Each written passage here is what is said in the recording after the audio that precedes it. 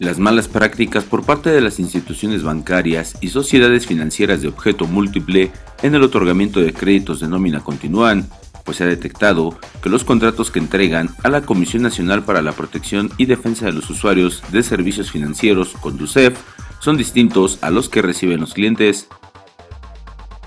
De acuerdo con el reporte sobre créditos de nómina, BBVA Bancomer, HSBC, Scotiabank y Banorte entregaron al usuario una versión del contrato que no es la vigente, lo que puede generar afectaciones en su patrimonio, indicó Mario Di Constanzo, presidente de la Conducef, en conferencia de prensa. Y volvemos a hacer el señalamiento desde Conducef que una cosa es lo que se registra en los contratos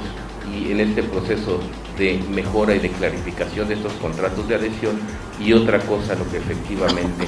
se está utilizando con los usuarios, lo cual eh, pues nos preocupa. Ahora bien, ¿cuáles son las fallas encontradas? Eh, en, el, siguiente, en la siguiente lámina las describimos puntualmente. En el caso de contratos, por ejemplo, las instituciones o las instituciones BBVA Bancomer, HSBC, Scotiabank y Banorte eh, entregaron al usuario una versión del contrato que no es la vigente.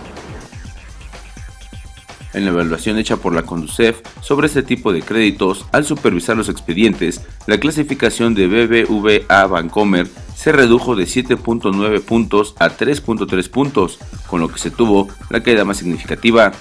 La Conducef señaló que el número de créditos de nómina otorgados por la banca hasta marzo del 2014 ascendió a 4.5 millones y destacó que el número de cuentas de nómina con el mismo periodo ascendió a casi 42.6 millones, un aumento del 78% respecto al mismo periodo del año pasado, debido principalmente a la actividad desarrollada por Santander y Banorte, que en conjunto aumentaron 18.4 millones de cuentas.